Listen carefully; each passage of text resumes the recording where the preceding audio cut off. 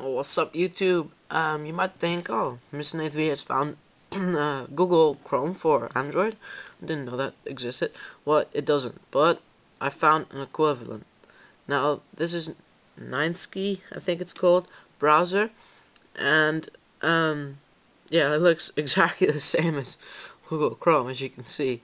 Um, it's nearly identical. So, um, you know, you have your your tabs up here, and you can another tab you have your favorites here and all that kind of stuff. I mean looks exactly like it. Um, it says this is a free application. Actually I got this from somebody who commented on one of my videos. He said you should check it out so I did and uh, I love it. It's really good. Um, you can also scroll to the right. Forgot about that. And you can see social networking news videos. Um, here you can have extensions. Um, favorites, downloads, you can see everything. So I'll just um, show it to you. So I'll just go to my YouTube, youtube.com, and then I'll just go to my channel.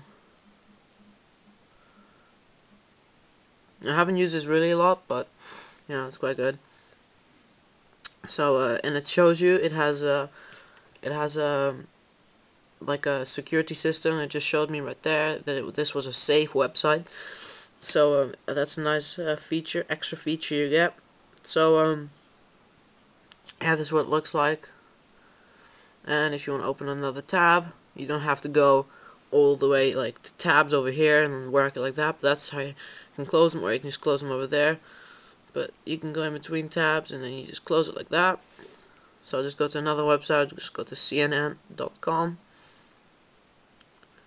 So it's pretty fast. And now it says again, safe website. So you can say don't don't say this again, but and then a little icon will come up there which says which is like a green kind of shield which means it's safe uh, oops, sorry and uh, yeah so that I really like that feature that it's actually a, it also uh, shows you how secure websites are so yeah that's uh, that's about it so it's a NineSky browser.